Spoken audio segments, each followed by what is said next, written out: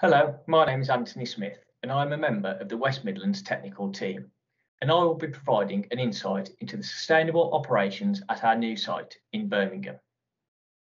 This will include the history of the site, what it can deliver to the local area, and how carbon footprint is reduced in the delivery and the production of its materials.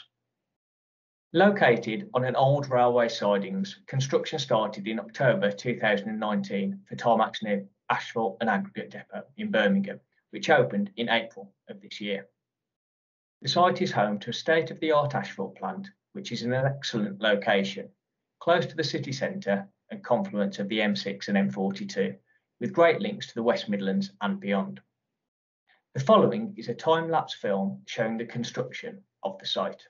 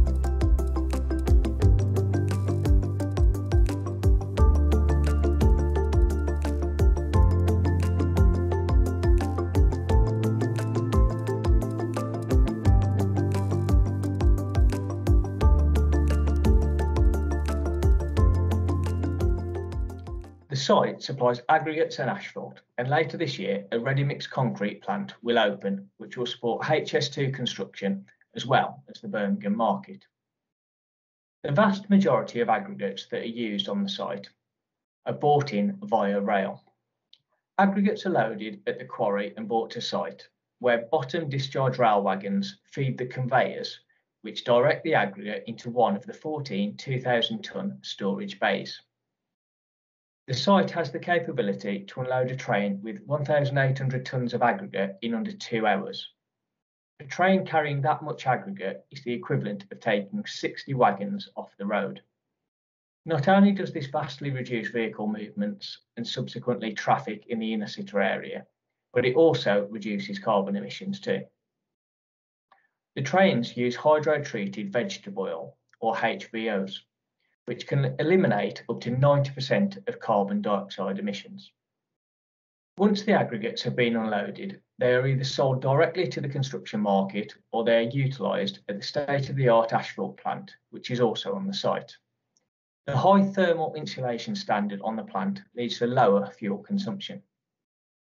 The asphalt plant has the capability to produce conventional asphalt materials such as asphalt concretes, SMAs and hot rolled asphalts. We can also produce a wide range of Tarmac's ultimate proprietary asphalt solutions as well. Conveyors send the aggregates directly from the 2,000 tonne bays into the asphalt plant, minimising plant vehicle movements and reducing dust. Material travels via rail into the asphalt plant and has no human intervention until it is laid on the road. The following animation shows how the asphalt plant operates.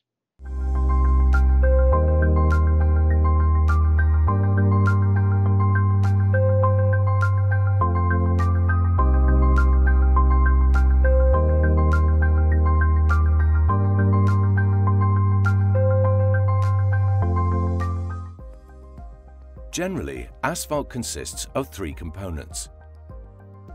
Firstly, minerals, which are different aggregates. Secondly, filler, meaning stone dust. And lastly, bitumen, which is used as a binder. The amount and relation of every component depends on the asphalt recipe. To ensure an homogeneous mixture of all components, a suitable preparation is essential. Mineral is the first component.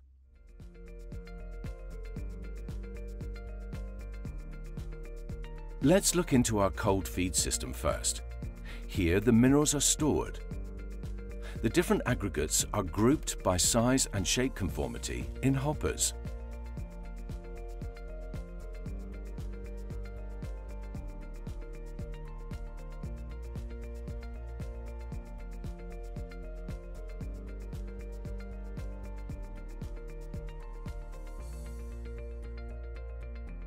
Next, the minerals are dried and heated in the dryer drum.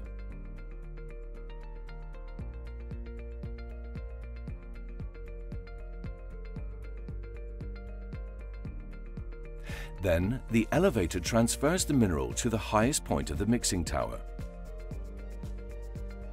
The material slides through a chute onto the screen machine, which separates the aggregates into different sizes. They are then stored in the hot bin section and available for further processes.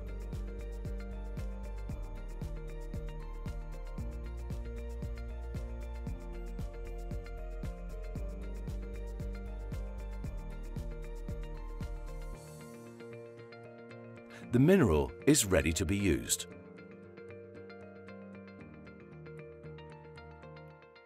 The second asphalt component is the so-called filler. The filler is stored in filler silos and available for the mixing process.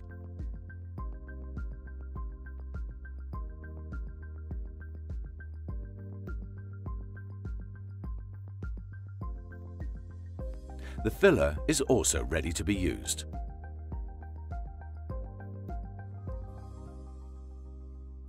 Let's have a look at the last component, bitumen.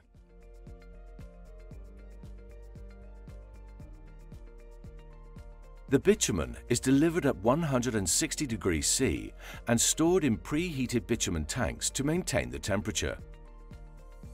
In general, asphalt mixing plants consist of several bitumen tanks in order to be able to provide recipe-related mixtures. These bitumen-filled tanks are used to supply the mixing process. The bitumen is now ready. It is transferred through a pipeline to a scale within the mixing section.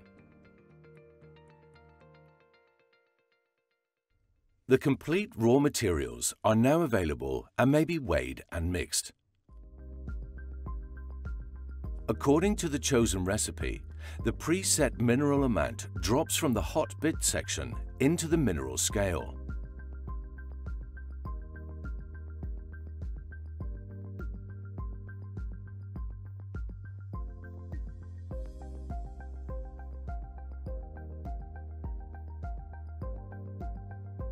Simultaneously, the filler is transported from the filler silo into the filler scale.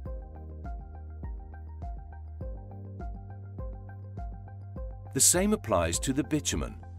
The bitumen is directly transferred from the bitumen tank to the scale. All components drop from the scales into the mixer. Mineral first,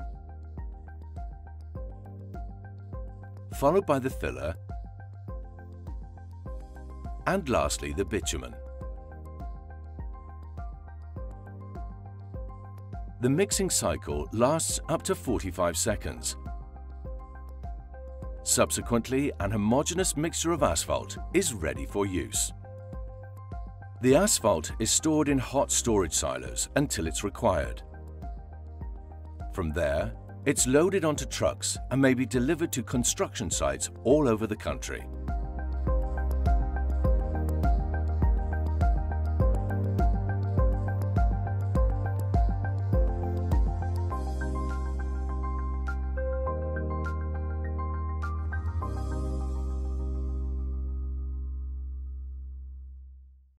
Plant is ideally located on the key motorway network, so travel and carbon emissions are reduced, subsequently improving customer service as well. The asphalt plant has the capability to produce a wide range of sustainable asphalt solutions, including Tarmac's Ulti-Low range of warm mix asphalt. Material is produced at up to 40 degrees below conventional material temperatures. This typically reduces the carbon footprint of the material produced by up to 15% without detriment to the finished product. Additional benefits are improved workability, earlier reopening to traffic, which leads to improved productivity and less disruption. Also at the site, rubber modified asphalt can be produced. Despite recycling end use tyres in the UK, 150,000 tonnes of tyre rubber is exported each year to North Africa and the Indian subcontinent. Birmingham Asphalt will have the capability to recycle end-use tyres in asphalt that otherwise would have been exported, providing a sustainable solution which also provides a carbon footprint saving of around 8%. The range of rubber modified products includes conventional SMAs, which perform as their equivalent, as well as the BBA accredited Multi-Pave R. Birmingham Asphalt also has the capability of recycling asphalt in a wide range of asphalt products. This not only reduces virgin raw materials um, required to make the product, but also reduces the carbon footprint of the finished product too. I spoke with Delroy Ameroy, who works for Arcadis in Birmingham. Del has worked for Birmingham for 36 years on various high profile schemes in the city. I asked him what impact the new asphalt plant will have on the city with regards to these sustainable materials. Um, well, I feel I think that we, I mean, we are working closely with with Tarmac at the moment with regards to uh, coming up with some um, recycled foam um, materials, mainly for the with the for the with the use of tar bound planings. Uh, and what we what we're actually what we're actually working closely with Tarmac is we're providing um, a foam master which has got tar bound planings to use uh, as a binder course as when we actually do our footway reconstruction works. And also which is called foam master foam master b and we're also got a, another um, one of um, foam master material which we use in the carriageways which is called foam master a.